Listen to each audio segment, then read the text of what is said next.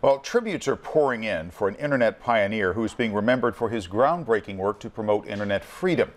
John Perry Barlow passed away yesterday. He co founded the San Francisco based Electronic Frontier Foundation and was also a lyricist for the Grateful Dead.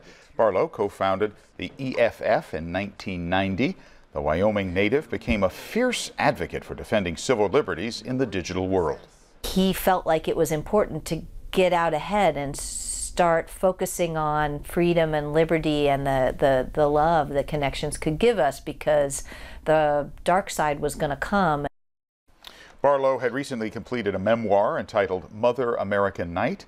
It's due out in June. Barlow was 70 years old.